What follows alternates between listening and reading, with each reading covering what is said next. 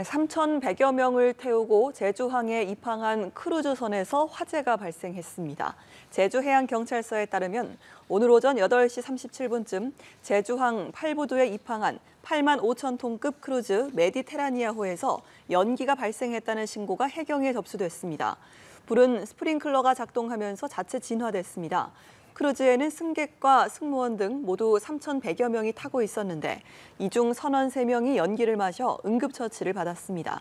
해경은 지하 3층에 있는 선박 기계실과 기관실에서 불이 난 것으로 보고 사고 경위를 조사하고 있습니다.